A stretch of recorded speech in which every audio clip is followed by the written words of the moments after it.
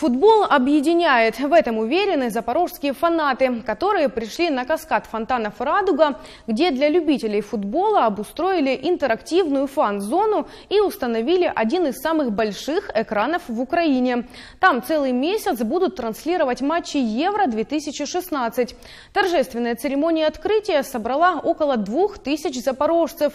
На мероприятие прибыли и представители городской власти. Как все прошло? Далее в сюжете.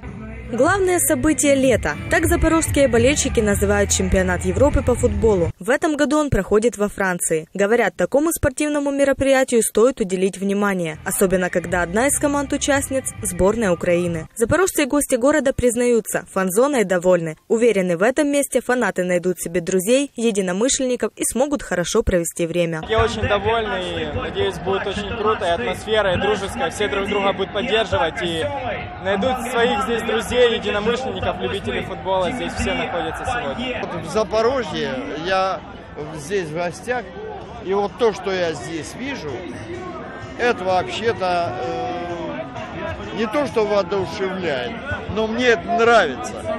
Это, это то, что э, я видел, когда был в гостях у своего сына в Голландии. Перед торжественной церемонией открытия жители города смогли поучаствовать в различных конкурсах, викторинах, посмотреть концерт, а также выступления юных футболистов школы «Металлург». Старт работе самого футбольного места в Запорожье дал городской голова Владимир Буряк, запустив так называемого неугомонного болельщика, надувного казака-фаната, символа фанзоны нынешнего года.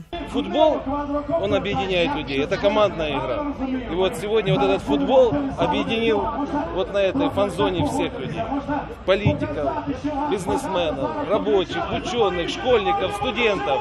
И показывает то, что мы едины в нашем городе. А когда мы едины, то мы победим. Поэтому я желаю нашей сборной и нашим болельщикам, фанам, болельщикам, запорожцев только успехов и только побед.